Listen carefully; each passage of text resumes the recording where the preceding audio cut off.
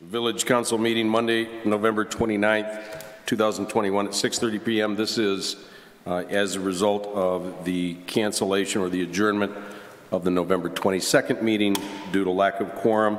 We'll call the meeting to order. And if you could rise for Pledge of Allegiance.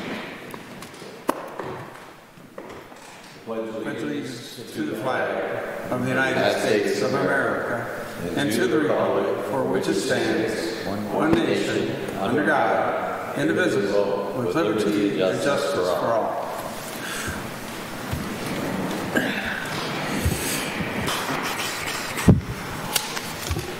If we could have a roll call, Mr. Young, and determination of quorum. Yes, Councilmember Hobbs. Here. Councilmember Lamb. Here. Councilmember Luxinger. Here. Councilmember Matheson. Here. President Pro Tem Narsh. Here. Councilmember Teresa Rutt is on her way. Uh, President Van Portfliet is excused. We have a quorum. Thank you. Uh, Item number four, statement uh, for the purpose of the meeting. The purpose of the special meeting is a rescheduled meeting from November 22nd, 2021, canceled due to a lack of quorum. Uh, Presentations, we had a presentation this evening, but our DDA Director, Molly Lalone, was unable to attend. Uh, And I think it's consensus of council and manager to adjourn that presentation uh, until it's uh, the next meeting. I actually wanted to make a couple comments on the presentation that was submitted in my packet, if it's possible. Uh, Go ahead, Mr. Mayor. Okay. Um, The first comment is, there's too many pages in my packet of colored, expensive colored uh, stuff that could have been presented. The entire presentation could have been presented on two eight and a half by 11 sheets of paper. Could you speak into the microphone a little better, please? Uh, The the entire presentation could have been, it's the same problem I have with McKenna. The the entire presentation could have been submitted on two eight and a half by 11 sheets of paper. Um, I'm not sure what the presentation is is supposed to be um, presenting. There are many things in the presentation that look like things that the DDA has done, but they're really not. They're a report on things that have occurred in the main downtown area and not as a consequence of the DDA. Um, That's all I have to say on that particular report. All right, thank you. And, and of course, the purpose of the uh, annual presentation is the state requires that the DDA uh, hold two informal meetings annually. Um, So it is a state requirement that that, those meetings be held. Uh, And the purpose of that, of course, is to inform the public of the goals and direction of the authority, including projects to be undertaking. So um, we can still make that with uh, the next meeting. Sure. Okay. Uh, Call to the public. If there's anyone from the public, uh, I don't know if any letters have come in, uh, Mr. Young, on a non-agenda item. If none, we'll close the call to the public. Uh, Consent agenda, all items on the consent agenda are approved by one vote. Uh, I will read the items to be considered on the consent agenda. Number one, approval of permit and license agreement for 2022 Rotary Ice Cup Challenge event. Number two, SEMCOG annual membership renewal 2021-2022. Item three, schedule the CDG CDBG uh, PY 2022 public hearing. Item four, schedule public hearing on proposed ordinance number 26-104, planned unit development PUD text amendments. Item five, schedule public hearing for 141 Elizabeth Street Apartments preliminary PUD plan. Item six, adopt resolution setting 2022 Village Council meeting schedule. Item seven, DDA Executive Director Report, October 2021. Item eight, approval of Village Council regular meeting minutes, November 8th, 2021. Item nine, Planning Commission regular meeting minutes, October 4th, 2021. Item 10, Planning Commission draft regular meeting minutes, November 1st, 2021. Item 11, Downtown Development Authority regular meeting minutes, November 12th, 2021. Item 12, Downtown Development Authority special meeting minutes, October 28th, 2021. And item 13, Police Department reports, October.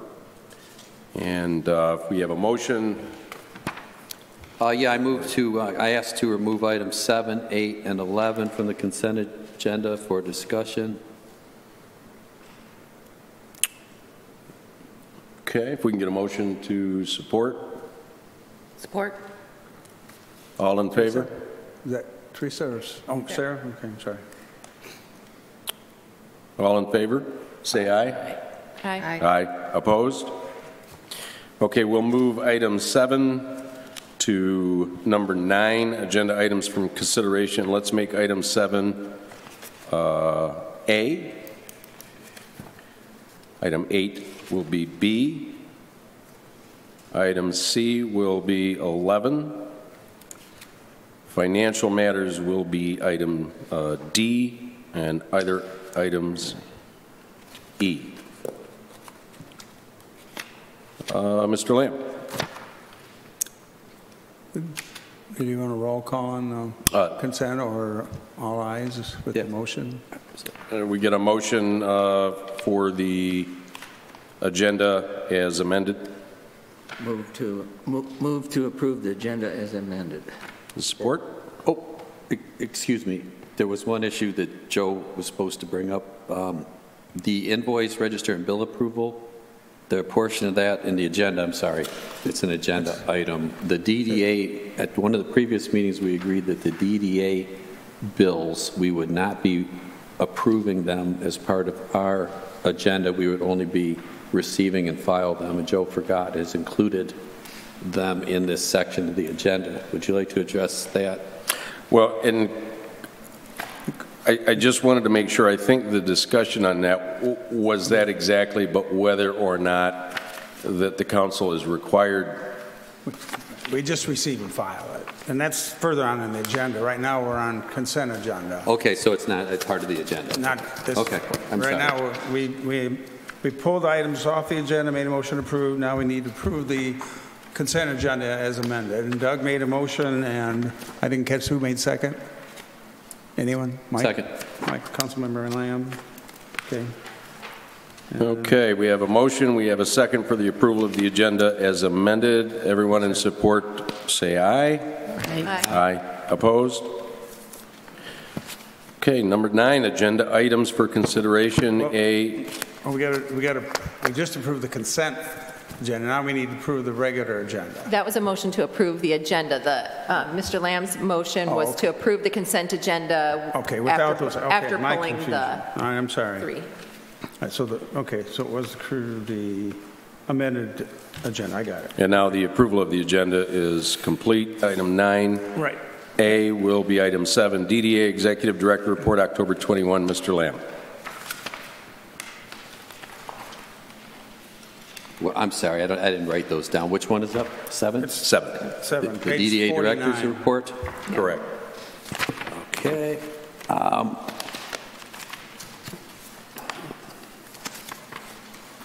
I would, I would like to move to send this report back to the DDA Director uh, so they could write something um, professional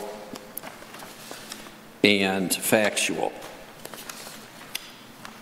I can't, I can't understand any of it. It's a bunch of pictures uh, with miscellaneous things written on the pages, and it lacks any, any semblance of a sophisticated a report. And like I said, I I move to send this back for revision uh, with the recommendation that they um, seek a, you know, professional writing class or just some direction that they provide a report that, a report instead of a photographic essay of the citizens of the council. Mr. Young, if I'm um, not mistaken, um, these are put together and they're presented at the DDA meetings where she runs through them and offers more explanation, right? And then they're provided as a courtesy more for us to see what the DDA's report is. Is that correct? Yes, it is. It's the So- receive and file. Yeah, so I'm wondering if what you would like then would be something different, because this she puts together for the DDA board, and she runs through it at the DDA meetings. So um, I'm wondering if, you know, the motion to receive and file can stand, but then that you would make a request that council gets a little bit more detailed report from the DDA director. Uh, Since this is something that she's already presented, we're just receiving it as a courtesy. But you could put in a request that says, I would like this with more explanation. Was this a DDA director's report to the Village Council of Lake Orion? It was to the board, DDA board. Okay, it says DDA Executive Director's Report, and it's on the Village Council agenda. So is it a report to the Village Council by the DDA Director? It's a report from the DDA director to the DDA board, and they send it to us just so we can see. So would that be uh, sufficient um, for Councilmember Member Lamb to have a more detailed narrative as to what that presentation entailed to the board and have that included when we get these as opposed to receive and file? Yeah, I would like Mr. Young to um, clarify what the reporting requirements of the Downtown Development Authority are to the Village of Lake Orion Board. And that being said, we could address this at another meeting, and this, I can move to receive and file this under those conditions.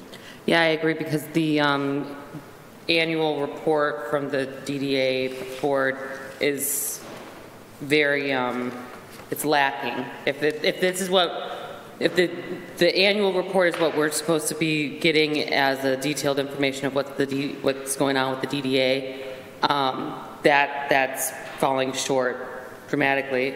And then the, do we get these monthly reports? Um, These are just pictures, pretty much, of the, so we need to know what the reporting requirements are. So would it be fair, uh, if I'm saying Mr. Lamb's motion correct, that for the purpose of this evening's item, we would receive and file with the proviso that uh, fur- further... Mr. Young, uh, summer clarify the reporting requirements, and, and my Yeah. Okay. comment was strictly that I would like to see a better, And that's in the form of a motion and uh, support? I'll support. Motion made, support. All in favor, say aye. Aye. Aye. Opposed, no.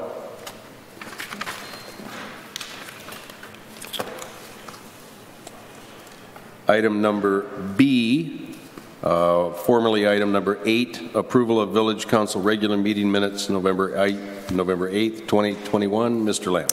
I I move to, um, I move that we approve these minutes subject to the following corrections. Um, On packet page 65, uh, item nine, uh, resolved um, to not confirm President Portfliet's reappointment of Debbie Burgess was my motion. The part, as a person with property interest in the DDA board, uh, should be struck. I did not say that. That would be the first item. And this is on packet page 65. 65, yep, 9, uh, 9A, and it was a resolution that failed. But it, uh, I just said to not confirm President Van Portfliet's reappointment. Uh, The second item is, uh, this is, must be a typo because it says that we unanimously did not approve Mr. Lawrence appointment to the board, but I believe we and, uh, unanimously, Adopted, yes. yeah, it says failed, failed Yeah, unanimous. So it should be adopted unanimous. Okay, so that correction That's would the be correction. on packet page 66. Uh, The second actual line result, it should say um, Adopted. adopted. And Then I, I- That and then Joe, you expl, okay. So that would be the two corrections I asked that you include in the motion. Are those sufficient, Mr. Young, or do we need a motion on that? Well, I need a motion to, well, I've got a motion, I didn't see the second, I think. I did. I'm sorry, Sarah, I did, okay, sorry. That's Teresa. Motion and support. All in favor, say aye. Aye. Aye. Opposed, no? Okay.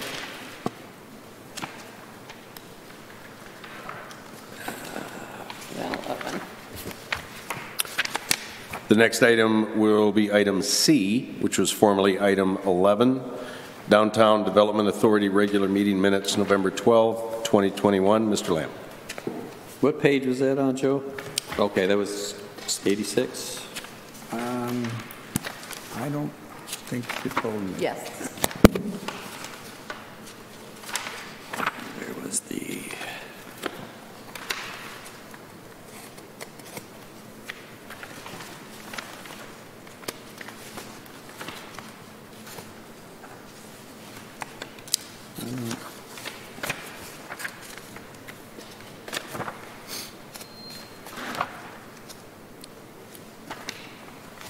Say DDA regular minutes, October 12th. There's, there's two. Oh, there's Oh, two? you're right. Yeah, Where's the November 12th? That's November 12th is on packet page 86, and that was item 11. Well, it's got the October. no, wrong no, heading on but it. these say October Yeah. 12th. The, the numbering is messed up was one reason I, Yeah, this I should- wanted to point out the numbering on the, Yeah. okay.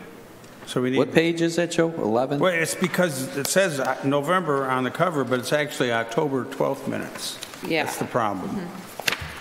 So we need to correct that to show, I think that's why I, I'm sorry, I think that's why I included that was for that reason. I, I didn't write it down on the cover, so please excuse me if, um, I move to accept um, and file the Downtown Development Authority regular minute meetings, November 12th, 20, would be October 12th. October, okay, so that should be October 12th, then, Right, okay? okay. Is there support? Support. Teresa? Okay, Sorry. Moved and supported. All in favor, say aye. Aye. Aye. Opposed, no. I said aye, I forgot. Aye. Okay, moving on to financial matters. Item one, invoice register and bill approval. Mr. Young. Yes, Council, we have this evening uh, bills paid November 9th in the amount of $21,688.57, and on November 10th, the amount of $5,059.56, and invoice register dated November 18th in the amount of $78,761.48. What page does that start on, Joe? 122. Yeah, we'll get a motion and support. I move to approve the bills paid November 9th, 2021, in the amount of $21,688.57, November 10th, in the amount of $5,059.56, and November 18th, 2021, invoice register report in the amount of $78,761.48. Support? Uh, I would like to discuss. And then discussion. if We get support, and then we'll discuss. I support. Subject- Uh, Support by Lamb and discussion. Okay. Um, As as previously discussed, we were going to not uh, formally approve the Downtown Development Authority expenses. Right. We're not, it's not our authority. You- And so those are going to be, the motion should include, if, the motion should include, to- and to receive and file the Downtown Development Authority expenditure report. Their bills. It's just to receive and file the DDA bill report. So to approve the bills paid and to receive and file the DDA bills. Would, uh, I'll re- amend my motion to reflect that. okay, Mr. Matheson will amend his motion to reflect receive and file of DDA reports, and I'm pretty positive the support would as well. I will, I will put my support to that also. Thank you. Uh, Any other discussion? Hearing none.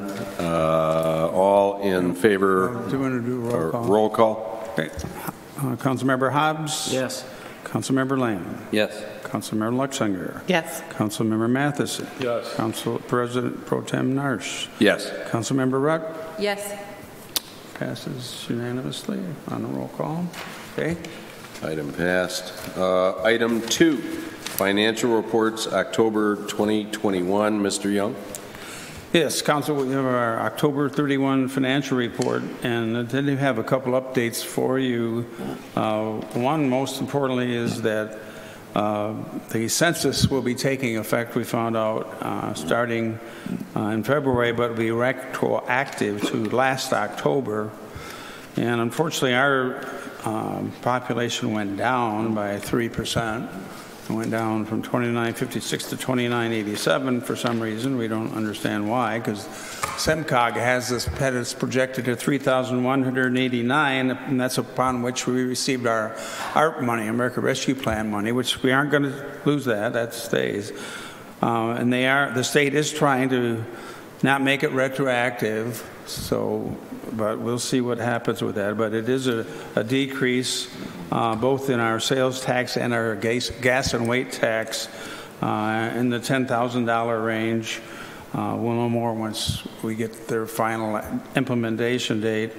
Um, We did have on the, on the good side, though, our pension funds that we contribute uh, based on salary for most of our employees, that's called a defined contribution.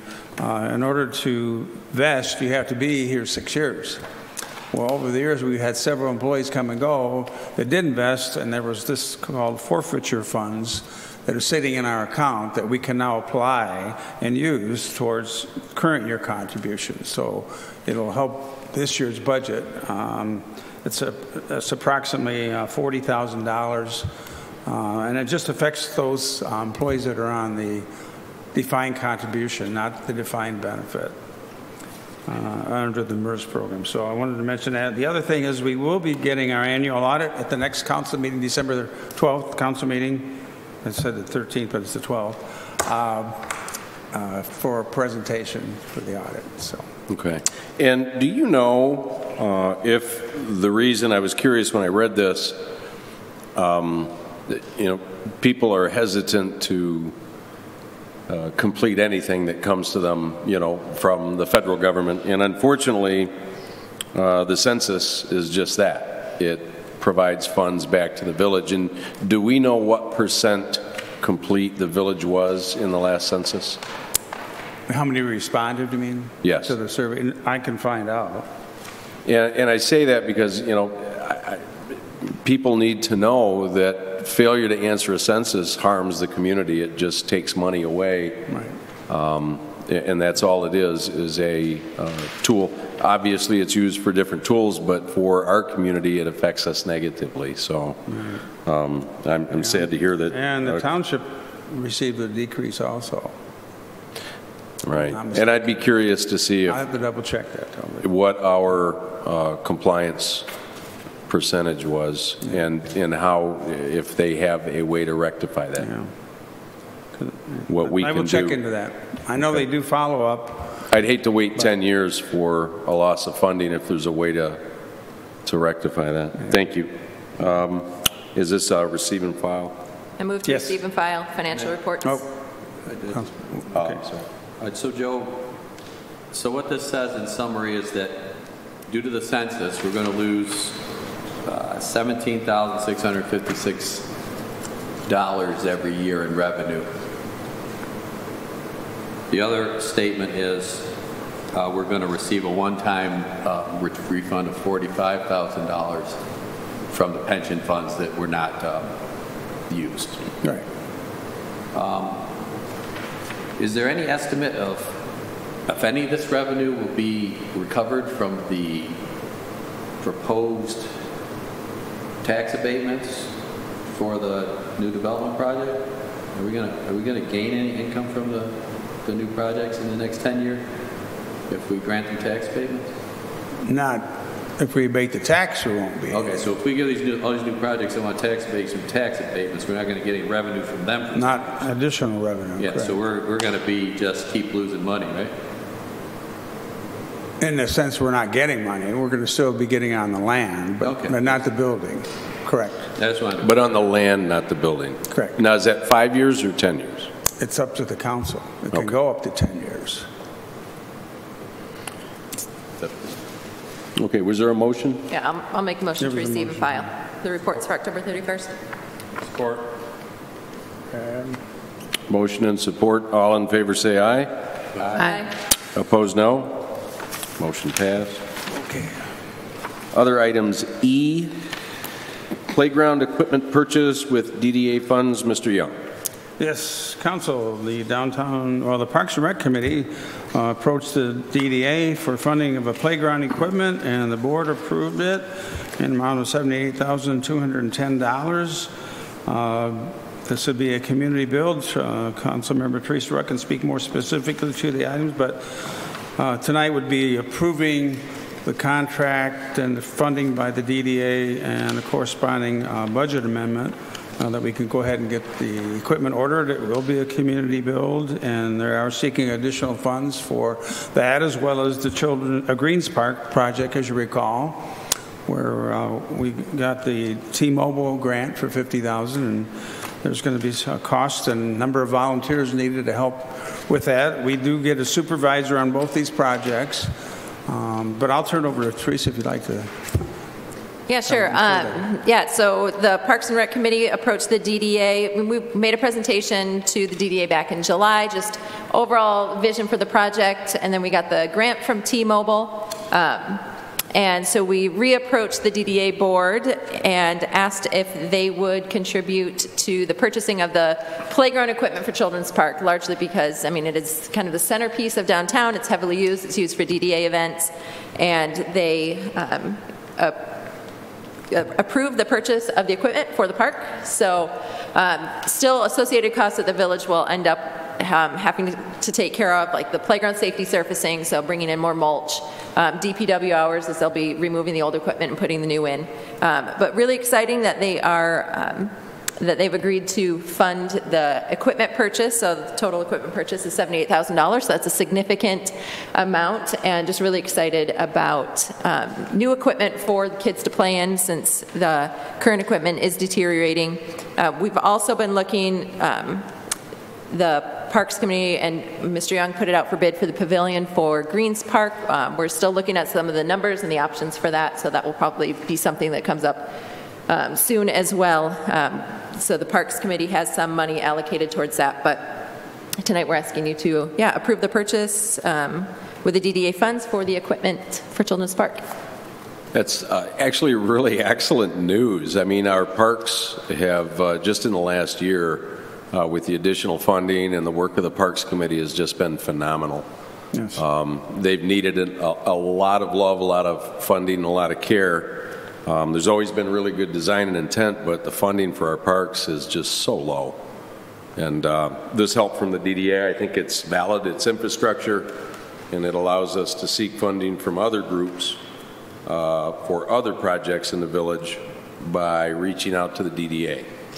And I think it was a perfect move, and uh, I think it's great for the parks. I'm looking forward to the improvement. I I had one question, though. I- I've talked to a couple of people, and when I was I was down at Children's Park about a week ago, and I had a couple of people ask me, uh, there's a lot of um, play parks are moving towards the rubber matting as opposed to uh, the chips. I think it's less that the DPW would have to worry about with mowing and snow and things. Is that something? So it is on our radar. Um, And to be honest, the first place we'd put that is probably Greens Park because we're looking at sand surfacing right now with the beach and everything, but sand is not an ADA accessible playground surfacing. So the pour in place rubber surfacing is about $25 a square foot. So we're looking for Greens Park somewhere. The first, I've gotten one quote and it was around $40,000 for Greens Park for the playground there to do safety surfacing. So Children's Park's a bigger park, it's going to be a lot more than that.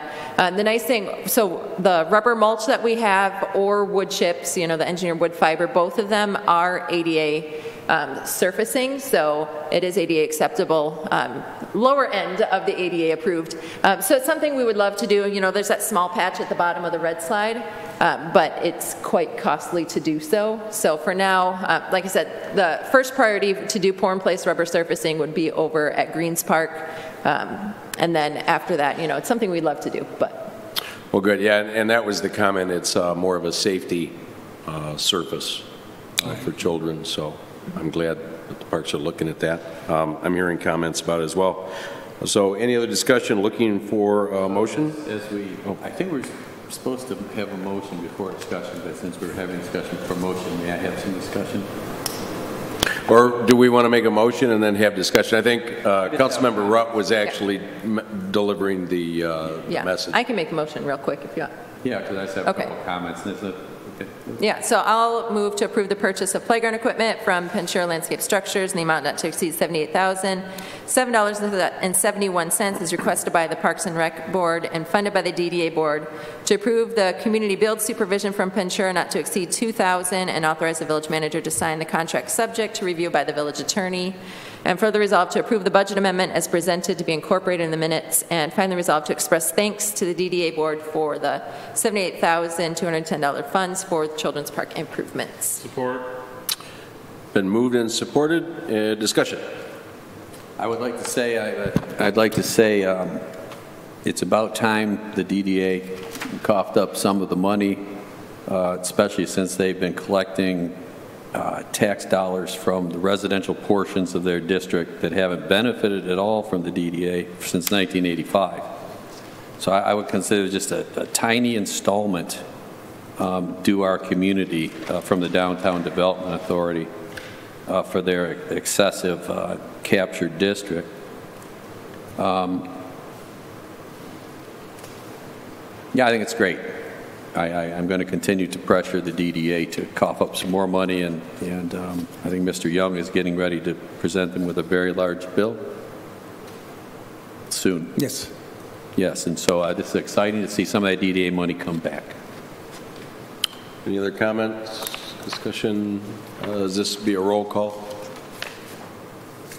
Councilmember Lamb. Yes. Councilmember Luxinger. Yes. Councilmember Matheson. Yes. Co- President Pro Tem Narsh. Yes. Councilmember Rutt. Yes. Councilmember Hobbs. Yes. Thank you. And item E, number two, Parks and Recreation Master Plan Update Proposal, Mr. Young. Yes, council, we have an update, a five-year update due on our Parks and Rec Master Plan. Uh, It expires in February, and uh, part of the process is, of course, updating it for any uh, changes that uh, we'd like to have the plan be considered. Uh, I know Councilmember uh, Rutt has reviewed it, and Councilmember, uh, President Brad Portfliet is reviewing it for comments, and welcome anyone's comments. There will be a 30-day public uh, comment period, which will start this week and go through uh, January to be ready for a public hearing and a hear- and um, adoption of the plan in uh, January. Uh, the In order to help us put this project, this report uh, together, we hired, um, proposing to hire uh, McKenna Associates, who drafted the last contract uh, for us five years ago. Their proposal is a fee to not exceed $9,700. The biggest component we need from them is the demographics information, and some of the charts and tables that might be, need to be updated. So tonight, I'm just asking your approval to uh, enter into contact with McKenna and amount not to exceed $9,700, subject to review by the village attorney. We do have this money in our budget. So, Look for a and motion. it's, and we need the grant in order to be able for, most state and federal grants requires to have a current Parks and Rec master plan. And this is a five-year requirement, and Yes. we're at that point. Yes. So it's required. So I'd be looking for a motion. Move to approve the Parks and Recreation Master Plan Update Proposal from McKenna in the amount not to exceed $9,700 and authorize the village manager to sign the contract subject to review by the village attorney. Support. Discussion. Mr. Lamb. As always, um, do we have any requirements to bid these services out for this level I, project? I, I did get a bid of $19,500 from Beckett Raeder. Um, Giffels and Webster did not want to, bid did not bid. So there there were limited, a number of bids I got, and the one was, So my question was, are we required to bid this out? it's a professional services. You don't have to, but we do. We do go get and solicit proposals. Okay, so you're representing that you solicited proposals, and this was the cheapest one, Right. and it just so happened to be our existing planner who did the last report. And I'm hoping to come in significantly less than that based on our input and involvement with this project.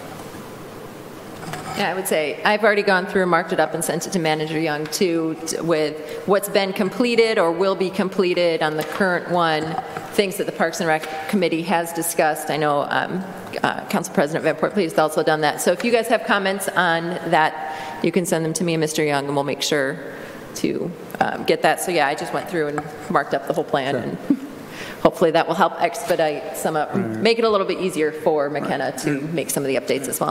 And the main thing is the plan needs to contain the items we would like to see in the future. So that's the main reason for having it, so when Yeah, the because a grants number- come yeah. forward. As I say, a number of the grants, like the one that comes, came out from Oakland County that's due in January, uh, if you're applying for a grant from them, that, the item that you're requesting or what you're requesting funds for has to be in your current master plan. So you can't just, oh, hey, I'm going to dream up something else and request that. So items that you're requesting, especially like federal or state grants, have to be in your Right. master plan. Like, like the, a like a lighted waterfall in the park would not be eligible unless it was listed in the report, for example. And as you stated earlier, um, based on some of the work, uh, Councilmember Rutt and the committee, the Parks Committee, that there may, it actually may come in under $9,700, is that correct? Yes. Okay. I, I just will point out one more thing If- with the selection of McKenna. They have a tendency to be verbose. Uh, They pad their reports with excessive amounts of photographs and white space, and so I find the documents difficult to read and difficult to understand. And so previously in the past, we've asked them to make corrections to this approach, because they should be read. Someone should read them, not just look at the picture. And I believe Mr. Young is making notes to that effect. Yes. Okay, we have a motion, we have support, any other discussion? Roll call, please. Luxinger, Yes. Matheson, Yes. Narsh, Yes. Rutt, Yes. Hobbs, Yes. Lamb. Yes. Motion passed. Yes. Item E3, retaining wall replacement, Park Avenue, Mr. Young. Yes, Council, uh, at the end of Park Avenue, we have a retaining wall, wood rafter retaining wall that uh, has been brought to our attention is uh, leaking in between the rafters because the storm drainage system is not functioning like it should. And uh, we've had uh, contractors come out and look at it and give us pricing, but because of the uh, layout of it, we need to do an engineered study to make sure what we're proposing will meet the engineering standards rather than just replace a wooden wall that's deteriorating. We need to make sure uh, what's necessary from a geotechnical standpoint with some soil borings and also the drainage. So we're asking this evening the- for the uh, engineering contract with Nowak and Fraus in the amount not to exceed $12,950 for that engineering work, which we could then, from that, go out and get bids that would meet the uh, necessary standards. We did solicit proposals, there's um, copies in the- in the bid in here. Uh, We, as I said, we did get quotes from contractors, but after looking at it closer, we determined that we just couldn't remove the wall and put it back. We needed more in-depth in civil engineering, particularly with the drainage, because uh, uh, the video, I don't know if you saw the video, but the water is draining through the law- the the boards, when it shouldn't be doing that, which, and it was deteriorating on the ends, so it definitely needs to be replaced. It was, my understanding, it was put in years ago, the village participated along with the property owners, was what I was told. But, um, and there is a cost sharing, the property owner uh, to the west said, I would like to replace my driveway, and as part of this, I will pay for that. And we will be putting together an agreement to that effect, uh, to bring back to council uh, to that point, once we get the plans and uh, specifications put together. So would it be fair to say that the total project estimate is probably going to be different than 50,000 because that was based on the wall replacement, not based on the findings of the engineering study that we haven't completed yet? Well, that 50 included uh, the 12,000. Right, but if the engines, if the engineering findings come back that we have to make additional changes, that would change, It we would oh, have to rebid Oh, right. the scope of work. Yeah, right. Well, we're going to rebid no matter how, because, Okay. because the firms would put the wall in, but they wouldn't do the restoration, for example. Right. But So we don't, we don't want to have who did what. I guess what I'm getting at is, should we have a total project estimate of $50,000 if we don't know what the total project estimate at this time is? Well, I had three bids on the walls. Was that just the wall replacement? Yeah, replacement? just the wall, not restoration of the pavement. Okay, but if the And they were engineering under- study that we're paying for in this motion comes back and says we have to make additional changes, we would have to have an additional motion if it was Right. beyond the Yeah, 50,000. This, this motion, it was just to award the contract to Nowak and Fraus to design the wall to go out to bid.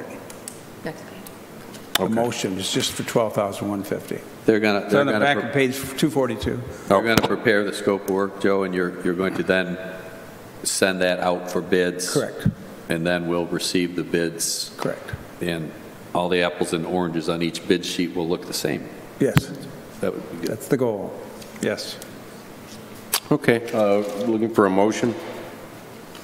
Uh, Can I ask one more question, Joe? So I think Jerry's question was the total project estimate of local street. Did you create the, did you come up with the $50,000 number? Well, based on the 12 plus the bids we got. Okay, so you, This you is a just. ballpark. That's your ballpark. Yeah. Village manager's ballpark Right, estimate. yeah. Nothing formal, just. No, no, no, no. Just to put us in a, okay. Yeah, just to give you some magnitude of the Under project. 100, okay. I'll move to approve the design engineering contract, um, the Park Avenue retaining wall replacement to Nowak and Fraus Engineers in amount not to exceed 12,150, and authorize the village manager to sign the contract, subject to review by the village attorney. Support. Motion and support, roll call. Eh, I'm- Any further discussion? Anyone? Roll call, Mr. Matheson, Yes. Narsh, Yes. Rutt, Yes? Hobbs. Yes. Lamb, Yes. Luxinger. Yes. Thank you. Motion passed. Item 10, call to the public. Mr. Newell, you're it.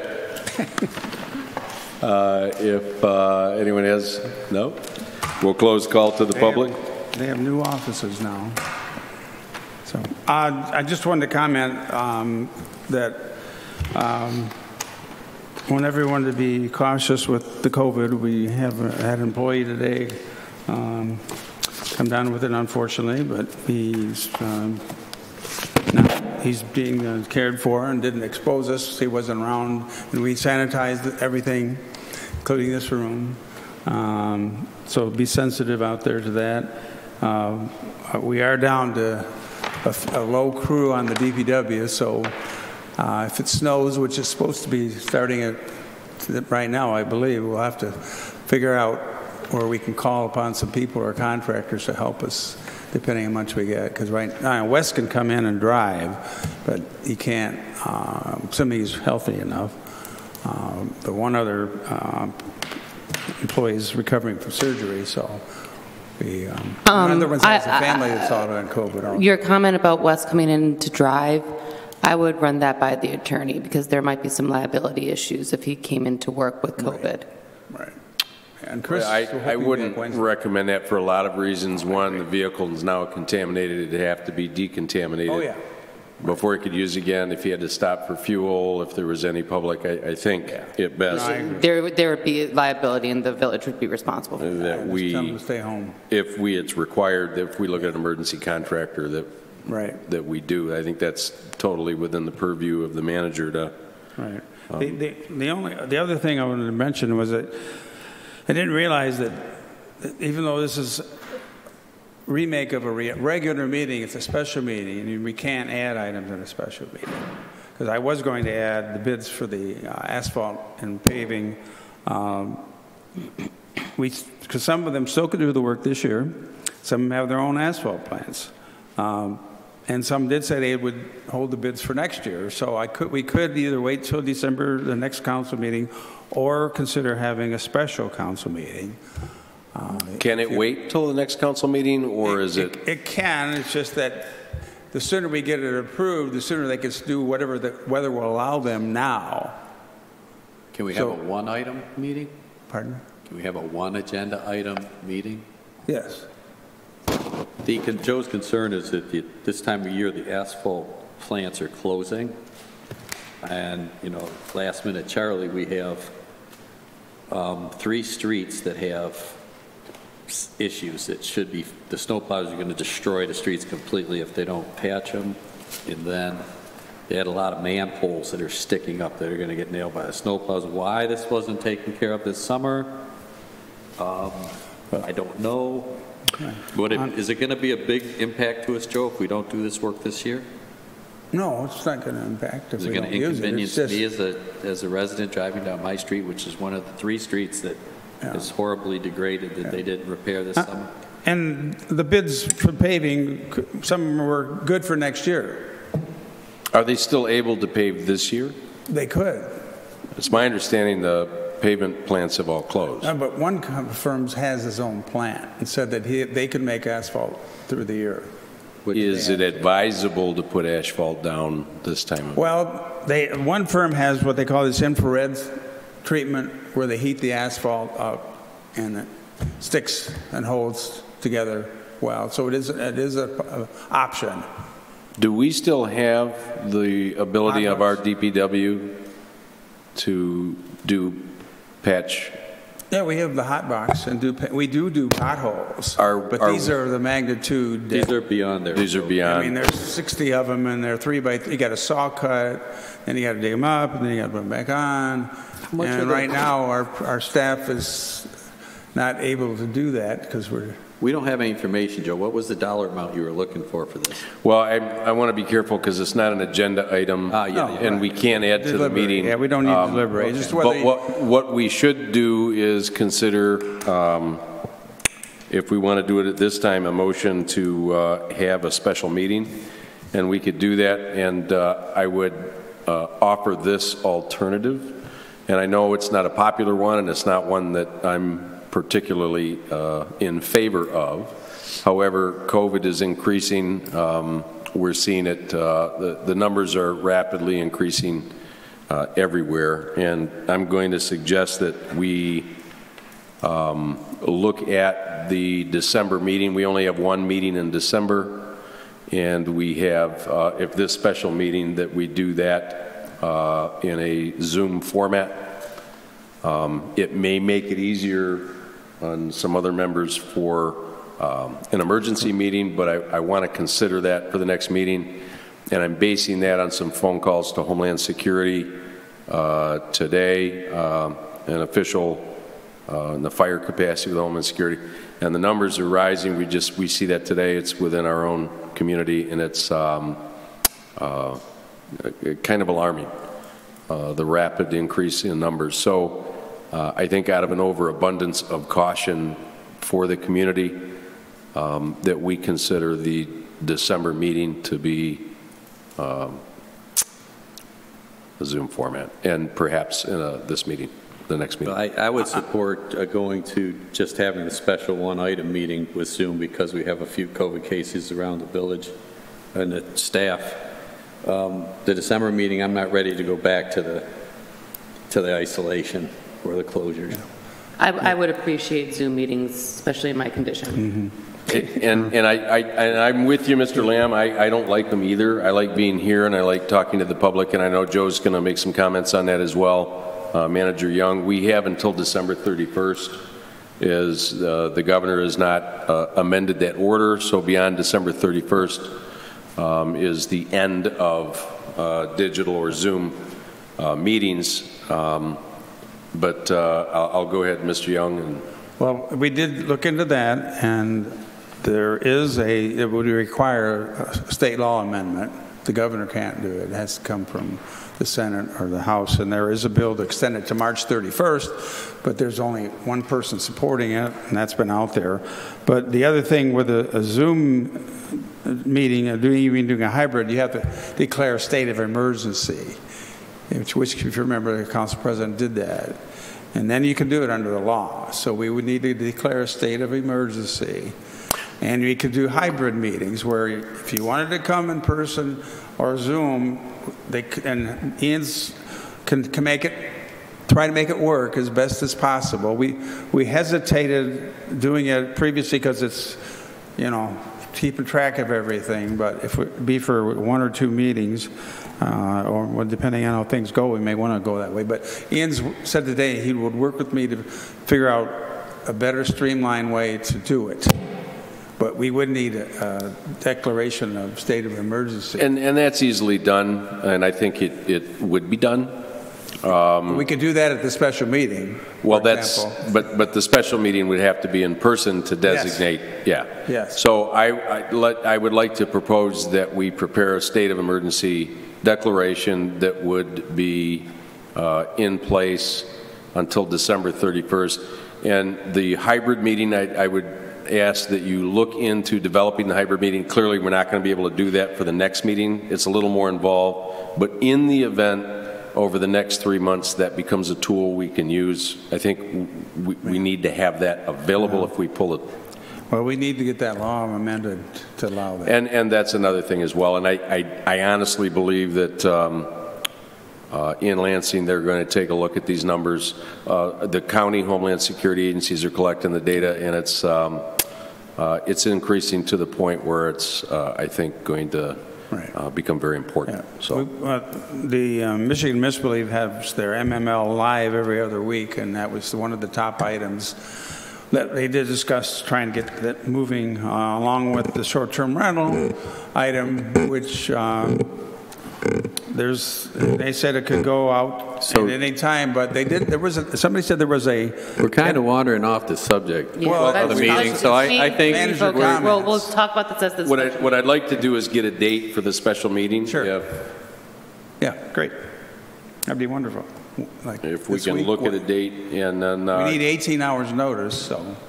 I'm available every day this week for one hour after, what time do you guys all get home? Anytime after six. so Anytime Wednesday after would be six. right? Would Wednesday work? Wednesday, December 1st? At 6 PM or 6:15 or That would work for me. 6:15 would be great. 6:15? That we said, Sarah? Yes. Oh, okay.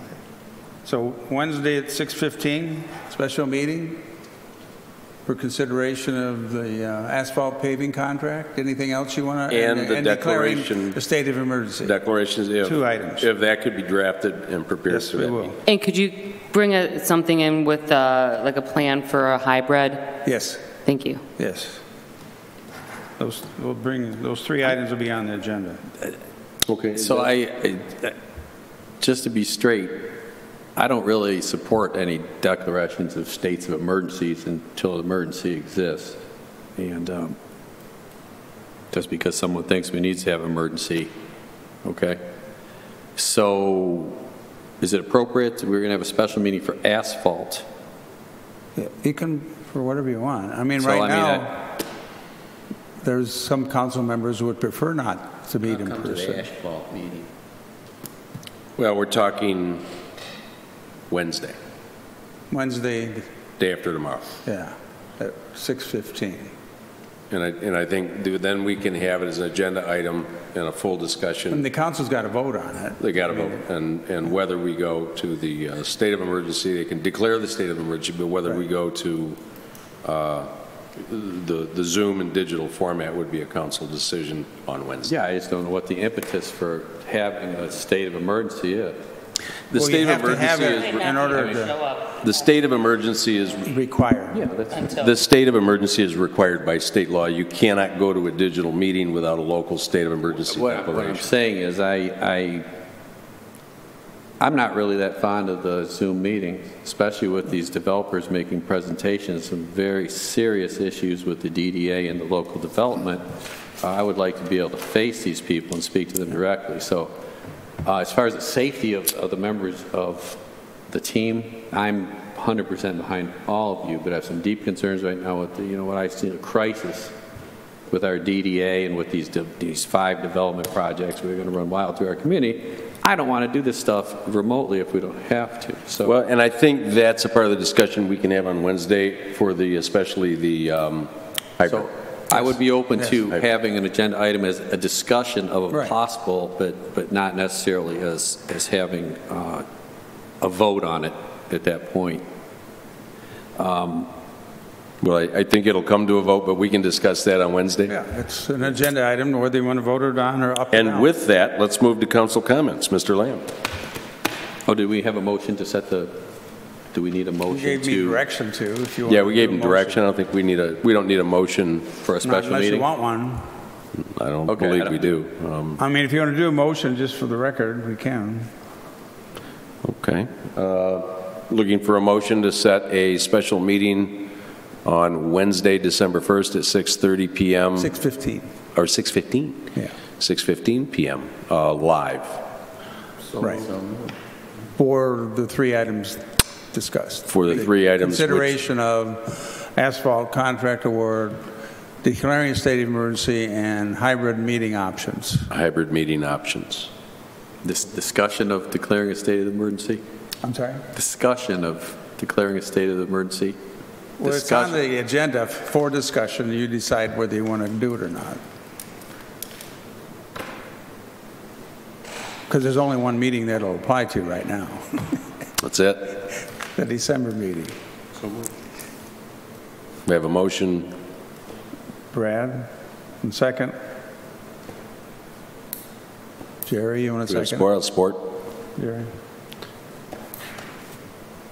Do you want a roll call? or- Uh, Sure, we'll do roll call. Narsh, Yes. Rutt, Yes. Hobbs, No.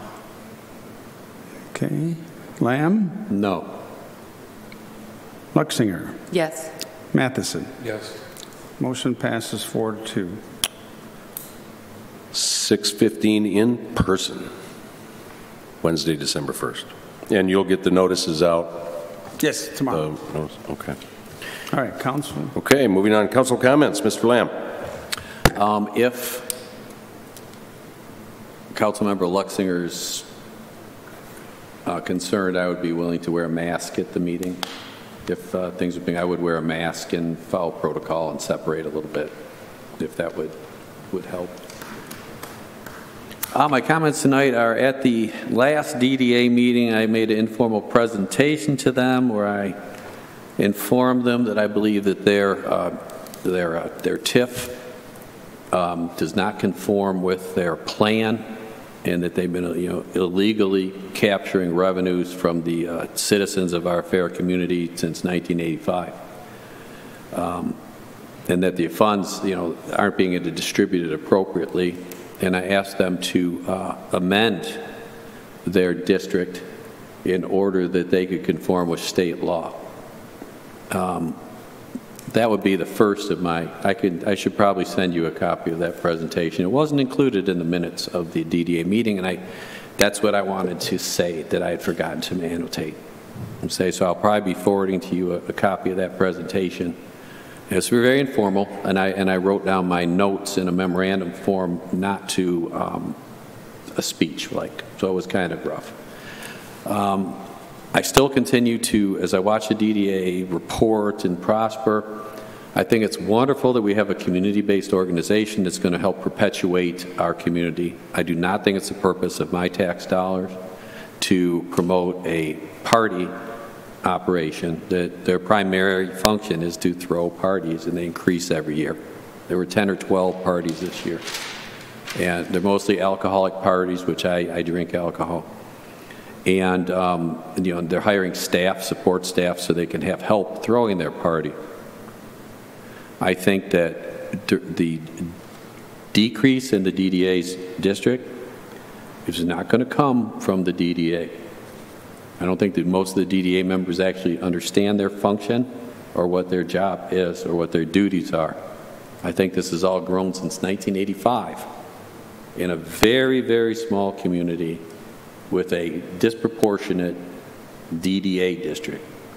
So I, I would just like to make you aware, this is, this is what I'm working on, and I'm going to continue to hammer the DDA until fiscal responsibility and appropriate guidance under the state law occurs. The, um, my other concern with them was the, Joe, what's the name of that, that program that I keep taking shots at? I didn't bring my notes. The- Tax abatement, No, the, uh, the the. pro- PUD, The what? the PUD, Plan Unit Development. Oh, No. No, the the National municipal- Trust, the Main Street National Trust? Yeah, the Main Street, it- it- you know, there seems to be some mystery. The, the Main Street America program is not a federal legal law that is doing so. It is a independent, nonprofit, political organization designed to bring all the main streets together for whatever purposes. Accreditation through them, acceptance and awards and such not, are strictly along the lines of Teacher of the Year. Okay? They are not operating underneath any of our state laws. So all the stuff they come up with is just fun, frilly stuff. These are my comments. Um, The last comment of the night has to do with the tax abatements, and this is kind of a rude comment, and I was going to make it earlier during the presentation, but I unfortunately have to wait till now to, to give it to you. I don't understand how a brownfield development authority can be established to take a piece of property where the owners of the property have spent the last 70 years making it worthless by contaminating it and degrading it and not maintaining it to the point where it- it's almost worthless. For instance, the lumberyard property has a current SEV of $350,000. This property is supposedly, according to the developer's presentations to the planning commission, is seriously, horribly contaminated. But somehow, this contaminated, horribly property is worth $2.5 million to be sold to the developer. So the people that contaminated the property, I've had nothing against, they're wonderful people. I'm just, this is a situation that exists throughout our community, also at the Eman Center project. Why, as a taxpayer or as a fiscally responsive elected government official, I would recommend a tax abatement and funding the paying of $2.5 million to people for property they, they contaminated. I don't get it. And I don't understand it. And the Eman Center, we also, this is not going to be popular for me. The Eman Center, we also have a similar situation. I've been studying this stuff for almost a year. $50,000 is the number that the different people have paid. First, the property went back to the state, someone bought it for 50, another guy bought it for 50. So now we have a company, a very nice company, that wants to develop the property. It's got problems, it's got asbestos, it needs abatement. Oh my goodness, the guy that paid $50,000 for the property, he's going to get $1.2 million for this worthless piece of property that nobody wants to develop. And who's going to pay for the property? Tax abatement? Our tax dollar? We're supposed to pay this guy $1.2 million for the property that no one wanted to develop? Why doesn't he just give it to the people? And then the people can use that $1.2 million to abate the issues. This is a serious problem, guys, and it's really troubling me. I do not believe this is what the brownfield development laws are all about. I think they're supposed to be taking factory sites that have been abandoned and worthless and taken over by the communities, and then the communities are supposed to take this property, encourage a developer to take the property by using their tax dollars. This is not a funding mechanism to make land developers wealthy. I happen to be a land developer, and I would love to be able to buy a swamp and sell it for a million dollars. And I'm troubled, deeply troubled, and I think you should all be troubled too. So thank you for letting me speak once again. Okay. Thank you. Ms. Lesser? Um,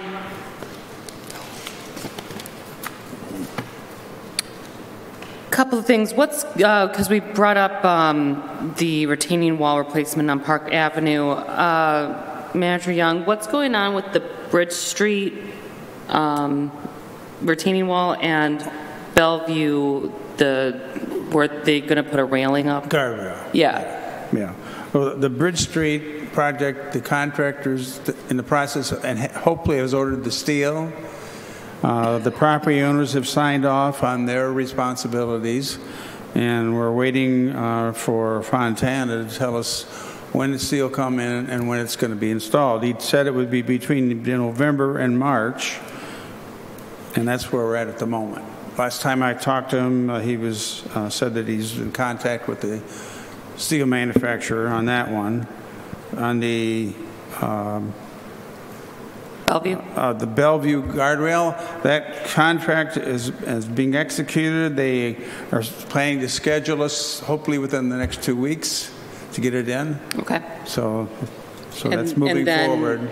Uh, I know Wes is not, is uh, out of commission for a while, but Right. um, I have some concerns regarding the leaf pickup. Uh, The Yes. first time it was canceled, uh, specifically on, uh, in our area of Lake Orion, it was canceled the first time. It was supposed to come out, and it was never rescheduled. And then, um, because of the snow and everything, it looks like it's not going to, the second time, Yeah. it's not going to come out. Well, they're coming back out. As as You, soon as you, the- you I talked to Wes today before he left, um, that if, if the snow melts, they can go out with the blower and get it. If not, they'll take the front end loader and scrape them up, Okay, okay? So he does have a plan.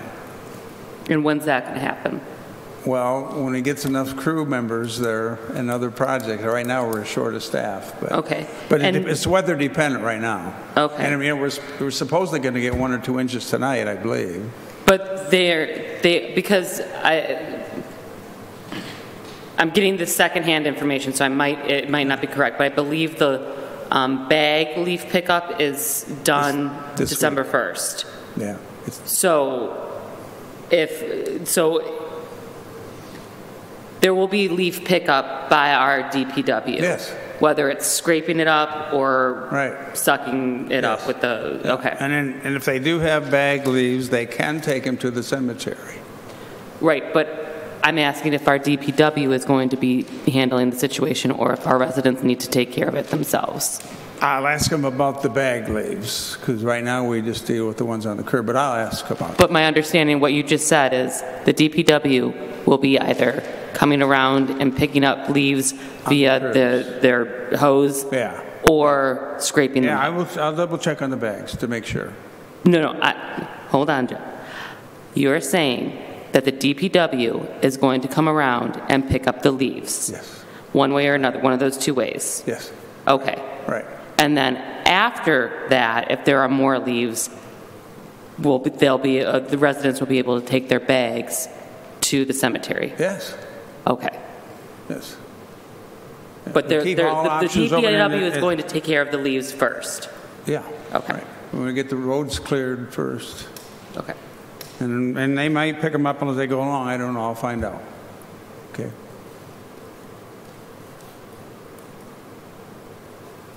Anything else? That's all. Okay. Councilmember Rutt. Yep, my apologies for being late tonight. I was playing a game with my son, and you know, 6:30 instead of 7:30 is just in my mind, and I was like, oh, guess I need to be there. So, um, um, you said that Wes was, had planned to have interviews with some, a seasonal We're still worker. gonna have 'em. Are these going to do those over Zoom, or are you're going to do them? I'm doing Okay, them. so those are still going to happen, so. Yes. There's a possibility we might get some other Yes. uh, seasonal help in the next. Right, and we'll look at contract employees if we can find them. Okay.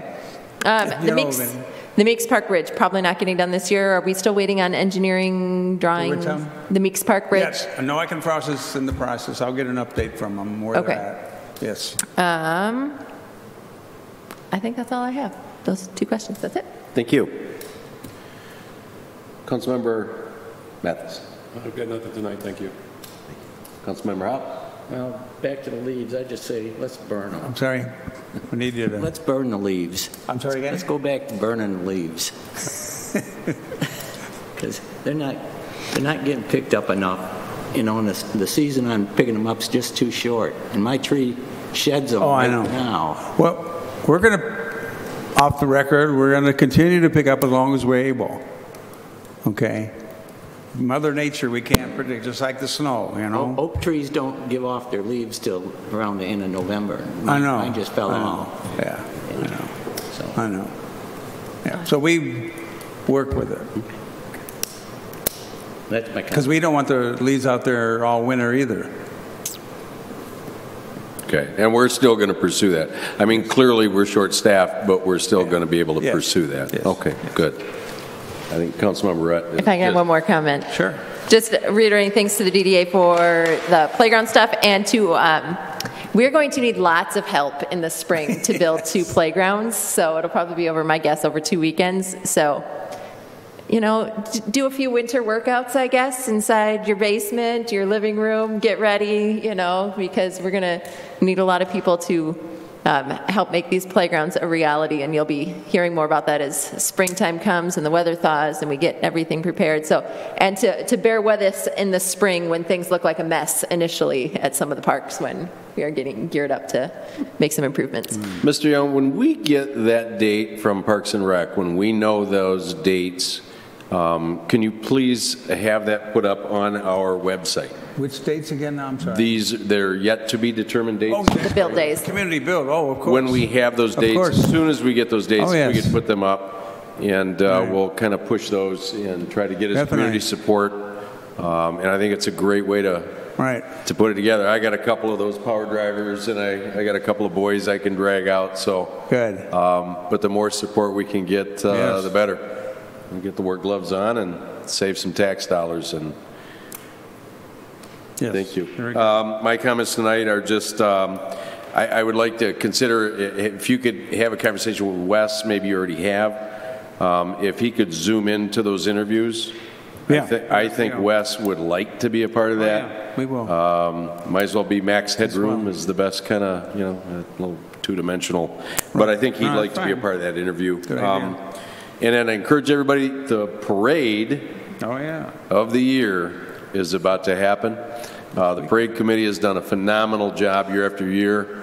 Um, I have been blessed to be in 38 of those parades and a part of those. Uh, This is going to be my first parade that I have not participated in in 39 years. So uh, I'm going to watch the parade with everyone else, and I hope everybody comes downtown.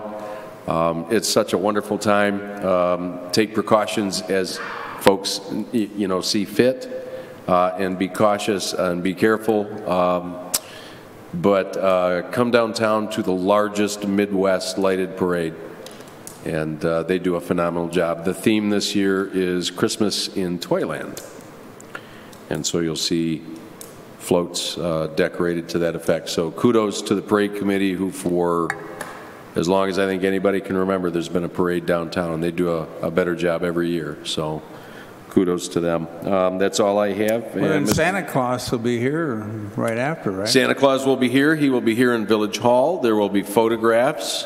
Uh, We encourage children and families to come. Uh, Photographs with the kids. Uh, There'll be some uh, items for the kids as well as cookies, hot chocolate, and that's immediately following the parade uh, at Village Hall. So everyone is invited to come and warm up and have some hot chocolate and greet Santa.